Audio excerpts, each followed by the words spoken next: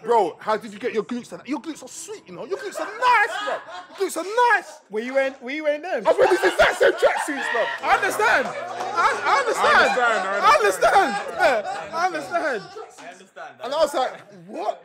Then I had to say, listen, the guy was rolled in it. Like when I mean hench, rolled, everything, jacket hooded up. I was like, bro, like he had a Stone Island and all of that. You know, you know, it's definitely ro- Rolled And I was like, listen, bro, listen, just do a couple squats and here and there, you know.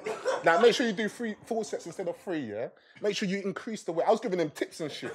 I'm not gonna lie to you. And he was like, oh. He was like, oh, bro, what, what? Is that how you do it? Yeah. Oh no, that's it. Oh, safe for that, bro. And he tried to spud me. I didn't know if I should spud him or not. Cause you don't know. You know, you get them man. He might have come out of prison. Might have been dropping bare soaps and that. You don't know. You don't know. You don't know what he's been doing.